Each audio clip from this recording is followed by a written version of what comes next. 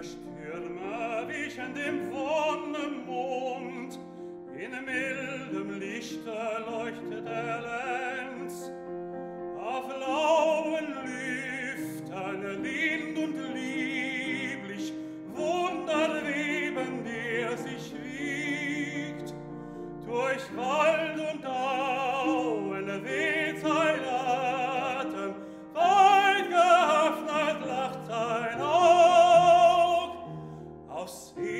der Vöglein Sange süß ertönt,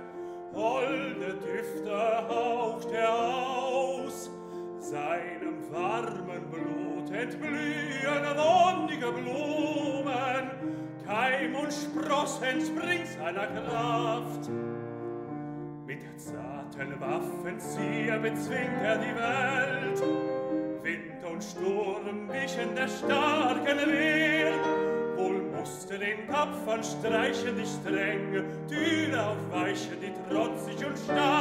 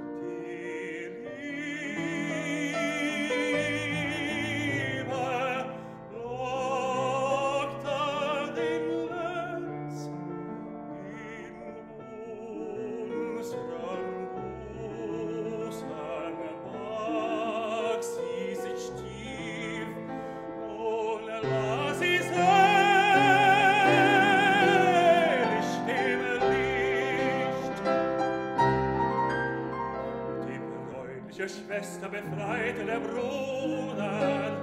zertrümmert liegt, was je sie getrennt. Ja, so grüß ich das Jod,